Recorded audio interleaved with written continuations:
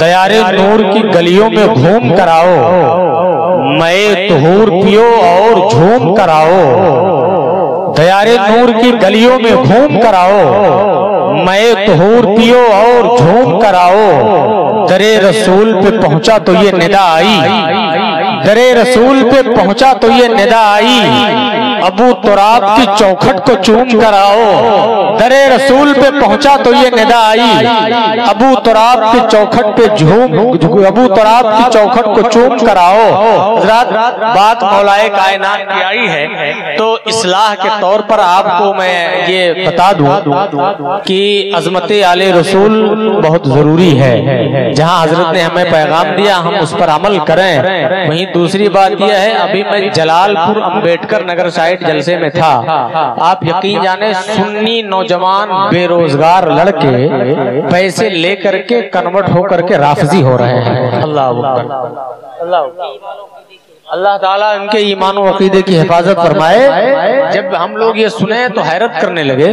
असल में वजह यह है कि बिलग्राम शरीफ मसौली शरीफ ऐसी जो खानकाहें हैं जिनका मुझे इल्म है जो मसल के आला हज़रत के सच्चे अंबरदार खानकाहें हैं। अलहमदुल्ला अलहमदुल्ला लेकिन इनके अलावा कुछ ऐसे लोग भी हैं इस कौम में, इस समाज में कि वो एक नारा हमारे सुन्नी मुसलमानों को देते हैं दमादम मस्त कलंदर अली का पहला नंबर। आज राफजियत किसी नासूर से कम नहीं है।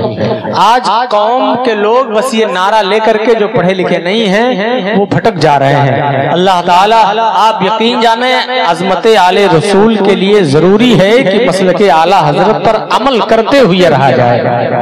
ये आप जान ले बहुत ज़रूरी है, वरना आज हमारे एक दोस्त मुबारकपुर शफिया के साथी हमारे थे मुस्तफ़ा मिसबाई उन्होंने मुझे कल एक वीडियो क्लिप भेजी है, अफसोस का मकाम यह है, उसमें दो तीन बातें उसने की और सहाबा पे खुल्लम, खुल्ला तबर्राबाजी। यार गार मुस्तफ़ा, हज़रत अबू बकर सिद्दीक रदी अल्लाह को गालियाँ, हज़रत उमर रदी अल्लाह तआला को गालियाँ। तो आप यकीन जाने, आप पहले ये देख लें कि मसल के आला हज़रत वाला है ये हमारा पीर या किसी और का है। ये सबसे पहले आप देख लें वरना ईमान का जनाजा निकल जाएगा लगाते रह जाओगे ऐसे इसी नारे से गुमराह कर दिया जाएगा दमादम मस्त कलंदर अली का पहला नंबर।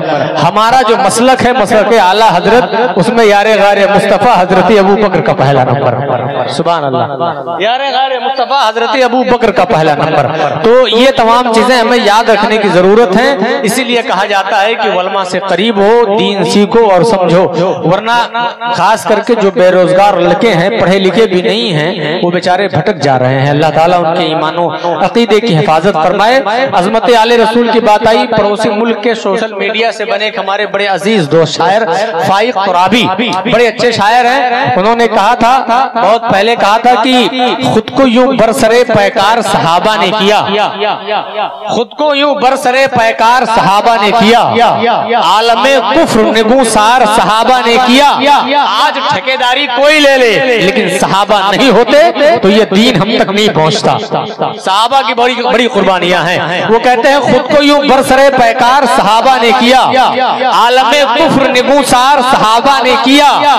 और खा के सरकार को जामा किया अपने तन का नाले सरकार को दफ्तार सहाबा ने किया। अब वो एक शेर हज़रत की तकरीर के हवाले से बहुत तेज़ी से सुन लें। मैं अहले मवद्दत में सनाकार वगैरह।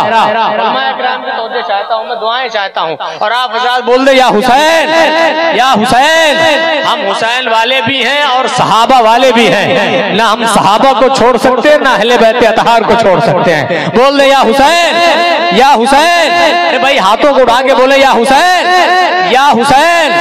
मैं अहले मवद्दत में सनाकार वगैरह।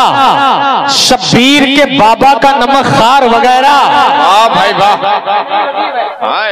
शायरी से शगफ रखते हैं। नहीं रदीफ है बिल्कुल। और जो लोग शायरी से शगफ रखते हैं वो सुबह अल्लाह ज़रूर कहेंगे। मैं अहले मवद्दत में सनाकार वगैरह शब्बीर के बाबा का नमक खार वगैरह। मैं अहले मवद्दत ये हमारे भाई शहनशाह तरन्नुम नूर आ रहे हज़रत कारी नूर अली साहब। भाई फरियाद अली साहब ये तशरीफ़ लाए शेर सुने। अहले बैत अतहार से मोहब्बत है, बिलग्राम से मोहब्बत है तो आप सुबह अल्लाह कहेंगे, मैं अहले मवद्दत, मैं सनाकार वगैरह, शब्बीर के बाबा का नमस्कार वगैरह, और आए जरा दीवाने शब्बीर के आगे। वो मौलवी जो अहले बैत की शान में गुस्ताखी करके और कहते हैं, हम आलिम है, बड़े इल्म वाले हैं, उनके लिए है। मैं उलमाए कराम से दुआएँ लेते हुए आए, जरा दीवान शब्बीर के आगे। ये इल्म के मारे, ये इल्म के मारे, ये समझदार वगैरह। वाह वाह वाह वाह भाई आए जरा दीवान है शब्बीर के आगे। वगैरह आए जरा दीवान है शब्बीर के आगे। नारे रिसालत उलमा अहले सुन्नत। अब ये कलंदर समझ गए तो आप समझ लीजिए अब हर कोई समझ जाएगा। किसी ने कहा था कि कलंदर कलंदर संगे मरमर के मकानों में नहीं मिलता। मैं बनिया हूँ, मैं देसी घी हूँ बनिए की दुकानों में नहीं मिलता। ये बेचारे कलंदर आदमी हैं, ये समझ गए तो आपको भी समझ जाना चाहिए। बोल दिया हुसैन, मैं अहले मवद्दत में सनाकार वगैरह, शब्बीर के बाबा का नमक खार वगैरह आए जरा दीवाना शब्बीर के आगे, ये इल्म के मारे, ये समझदार वगैरह, ये इल्म के मारे, ये समझदार वगैरह। अभी ये शेर सुने कि कमजर, तू बैत का सवाल उनसे करेगा। कमजर। अरे कसम खुदा की अगर आप समझ जाते तो खड़े हो के नारा लगाते खड़े। खड़े मेरी आदत है चाँद बदरी से पर्दा हटा दिया जाए मैं उस म्यार का ना तो शायरी इस म्यार की ना शायरी करता हूँ ना पढ़ता हूँ। आप समझे या ना समझे लेकिन आका हुसैन से मोहब्बत है तो बोल दे या हुसैन। या हुसैन। या हुसैन। या हुसैन। नमक खार वगैरह। सनाखार वगैरह।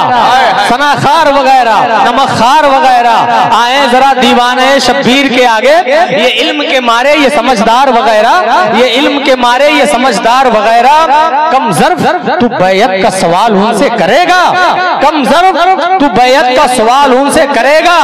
ठोकर पे रखे जो तेरा दरबार वगैरह वाह वाह वाह वाह। बहुत अच्छे भाई शिरानी साहब वाह बहुत तू। कम जर्फ तू बैत का सवाल उनसे करेगा। ठोकर पे रखे जो तेरा दरबार वगैरह। खंदे खंदे असगर की जरा ताब तो लाएँ। हाय हाय हाय। खंदा ये फारसी लफ्ज है हंसने के माने में है। ये खंदा खंदीदन हंसने के लिए बोला जाता है। खंदे असगर की जरा ताब तो लाए। खंदे असगर की जरा ताब तो लाएँ। खंदे असगर की जरा ताब तो लाएँ।